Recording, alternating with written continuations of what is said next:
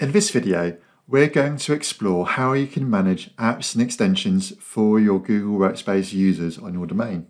As an admin, you have the ability to allow or block apps and extensions, as well as automatically install apps and extensions for your users. To manage this, we need to go into Devices, Chrome, Apps and Extensions, and Users and Browsers.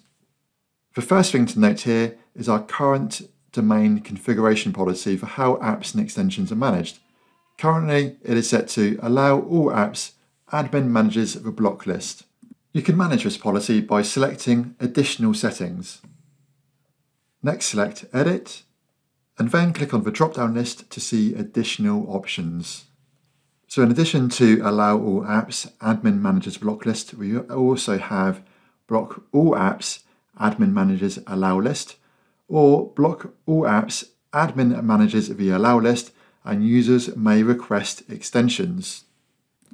For security reasons on a domain, I highly recommend selecting this option. This way, only apps and extensions you approve can be used with domain Google Workspace accounts.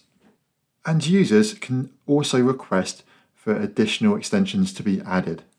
These requests will appear under the Requests tab. Now let's take a look at how we automatically install an extension.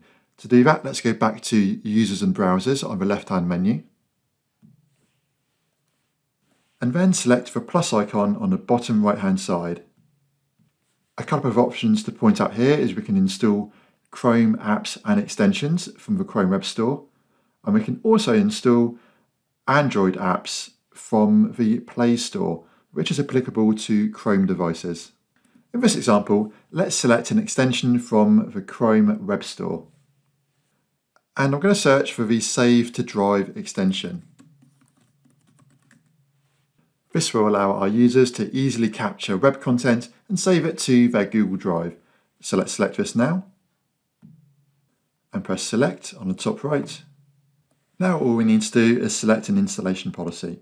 At the moment it's set to allow install I want to force install this for our users. Alternatively, I can also force install it and pin it to the browser to make it easier for our users to find. Let's select this option. And lastly, we just need to select Save. That's it. So now whenever one of our domain users signs into a Chromebook or a Chrome browser using their Google Workspace account, they'll automatically have the Save to Drive extension automatically available to them. That's it for this video. Thanks for watching.